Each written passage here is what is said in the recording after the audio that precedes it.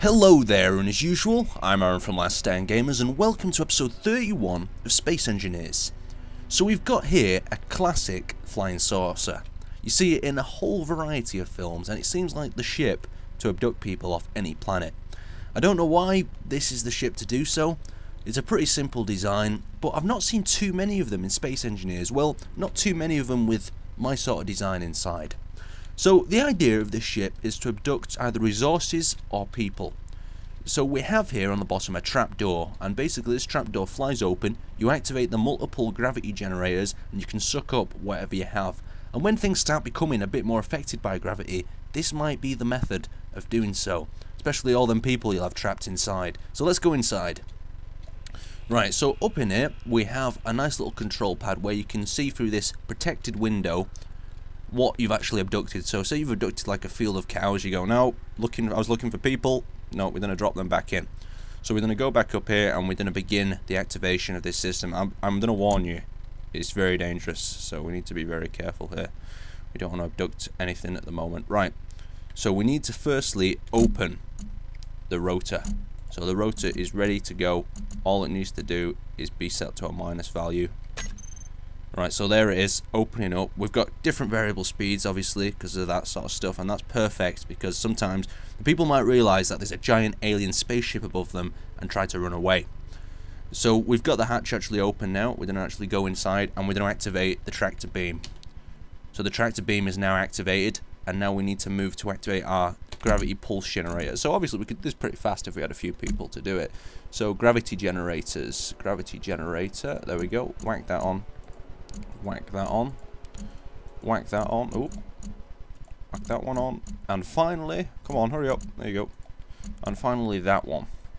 So now we have a gravity generator that's about six times pull, so it'll it'll basically conflict with any other generator that's going down. So I do apologize for the flames, uh, the frames, but you're gonna need a big problem with them lights. So there we go. We pop ourselves out. And now we're underneath the tractor beam. So I'm just going to show you how this works. So you, you might be walking along like, oh, oh no, giant alien spaceship's above me. And then and then you just get sucked into that. Ah, and there you go.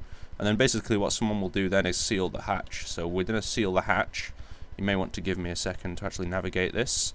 Oh, damn. Right, so we're back at the control panel. All we need to do now is actually seal this thing off. So we need to get inside it, number one get the view underneath and the door is still opening because I reset it. And now we need to quickly access it and go down to the bottom rotor and then we set the velocity to close. Well let's have it on some faster speed. There we go. That's that's more that's more that's better speed. There we go. And now we're sealed. Beautiful. Right. Let's move on with the tour of the rest of the place. So we don't have to go up through the ladder out of the abduction chamber and with every sort of spaceship that abducts people, to because you're going to need to brainwash them, basically. So you're going to have to decide what you actually want to brainwash them with. So I now I'm stuck, and there we go. Right, so we can just move through here. We have some doors separating this area. And we move on to the main chamber.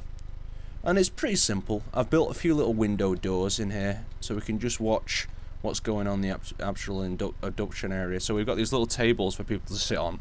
Well, not sit on, they'll probably be knocked unconscious and then be probed with whatever you want to probe them with. It's, it's strange isn't it? Like everyone expects them, them to be probed by aliens, but I, I don't I don't don't know why. Uh, so moving on, we've got some little machinery that I've built. Another photocopier or whatever you want to call it. We've got a med bay there. If we move on to the other side, we have a cargo storage area, and then down towards here we have some just like this is the armory basically and down here we just have some rooms that have no point just to confuse people if they try to enter this place. Because I mean this is one of them ships it's a bit like a TARDIS inside like everything's square inside even though that the actual spaceship's um, well uh, more of like a rounder shape you could say. So let's move up into the control pad area. So into the control area there we go and now this is the main area where you control everything. We've got a nice seating arrangement there, so all the aliens can have a chat, have some coffee, like you do. And moving in here, we have like a server room, like a control server room. Nice and simple, just some um, assemblers, so you can assemble all your stuff up here. The refinery's downstairs. And over here we have one of the main control rooms, so people can be assembling stuff as they are flying the ship around. So let's actually get in here just to get another final outside view. So, so yeah, the control pad's on top. You've got the engine thrusters on the back, and everything else is tucked in to the little catacombs around the edge of the ship that make up the spherical shape. Well, not spherical, the the plate sort of shape. I mean, the original design was. I'll, I'll take you over there now. I may as well do.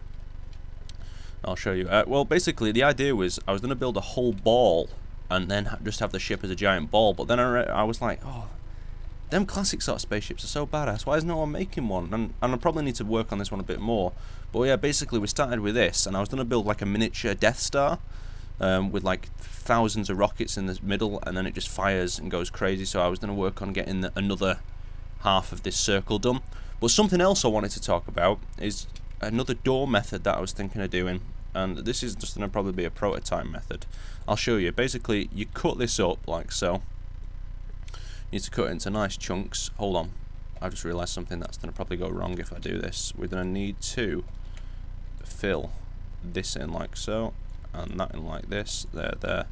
And then now we just need to cut this in half. So we drag that, cut it, and we need to drag this down. Give me a second.